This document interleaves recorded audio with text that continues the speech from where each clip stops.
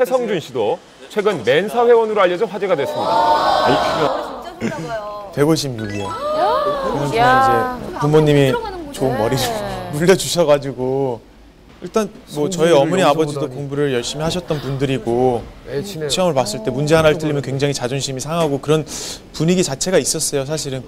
저희 아버지는 외국과 관련돼서 이제 회사를 하시고 또 어머니는 또 PR 마케팅 쪽 회사를 하시고 두 분 다 열심히 사시는 분들이세요. 네. 저는 또 제 길을 열심히 가겠습니다. 내 아들이 유치원 다니는데 얼마 전에 씨름 왕 상장 받아. 동요보다 부를- 가요 부를게요 느낌 아니까 그 타고난 끼가 어디로 가겠습니까? 스타를 쏙 빼닮은 스타 2세들도 대표적인 연예계 재능 상속자들 하종우 씨 생각나. 아 제일 먼저 떠오르네 하정우 씨 네, 요즘 예. 대세잖아요. 이름만으로 존재감 있는 배우 하정우 스타 2세 대표 주자죠 그리고 여기 아버지의 뒤를 잇는 스타 2세가 있습니다 곧 데뷔를 앞두고 있는데요 안녕하세요. 저는 박종찬입니다. 어, 너무 네. 닮았어요. 저희 아버지 함자가 박준자 규자세요.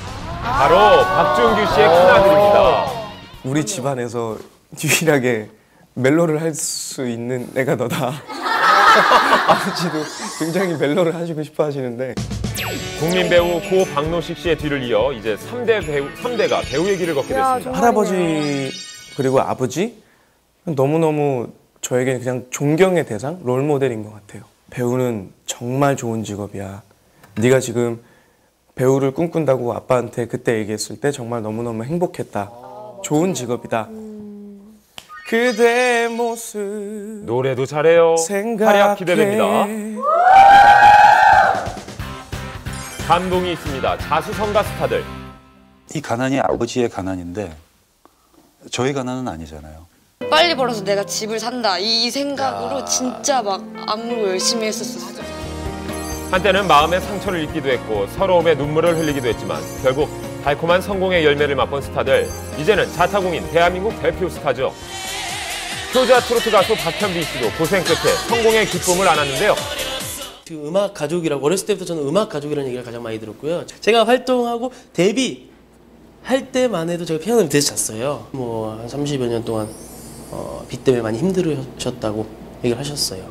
제가 곤드레 때 다 갚았어요. 사실 정말 머릿속에 100% 일에 대한 그런 생각밖에 없었기 때문에 그때가 가장 힘들고 행복했던 순간이 아닌가 생각이 됩니다. 아들로서 부모님을 기쁘게 해드릴 수 있는 자리였고 어, 머니 아버님께 효도로서 어, 이렇게 돌려드리도록 하겠습니다.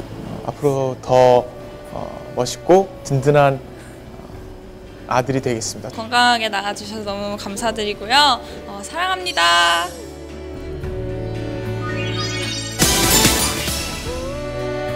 연예 여성들의 수다에 오르내리는 쓰레기 아시나요? 버리는 쓰레기 아니고요. 드라마 속 호칭이 쓰레기입니다. 자, 단연 하필풀인데요. 광고까지 찍는다기에 냉큼 따라가 봤습니다. 와우. 동네 양아치부터 젠틀한 훈남 역할까지 했으나 빛을 발하지 못했던 편의 드라마로 안방극장을 뜨겁게 달구고 있습니다. 정우 씨. 대한민국이 정화리에 빠지는 이유 경상도 오빠의 진한 사투리죠. 뭐 잘못 나오면 시부리 말이 고마 씨만 주들이만 주잡채비라 정말 잘해요. 동해 가지마 이 새끼야 오빠한테 시집 올래? 슬며시 잘해. 백허그하니 하나나 안 받아라. 마성의 남자 정우 씨가 이제 광고계까지 장악했습니다. 데뷔 13년 만에 찍는 첫 광고라는데요. 정우 씨 대세 입중. 정우표 피자입니다 어, 아직은 좀 쑥스러워하죠. 촬영한 장소로 이동해서 계속 진행이 됐는데 자 어떤 매력이 있길래 쟁쟁한 스타들을 제치고 광고 모델까지 됐을까요? 정우 씨를 직접 만나봤습니다. 어머 안녕하세요. 안녕하세요. 어머 아이고야 아, 축하드립니다. 찍지는 못했고요.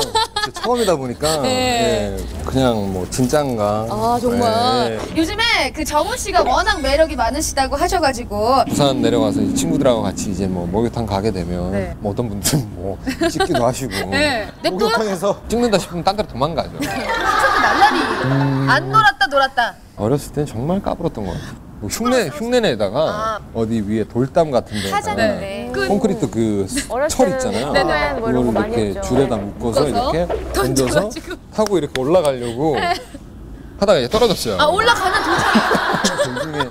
그 쇠가 이제 머리 박으면서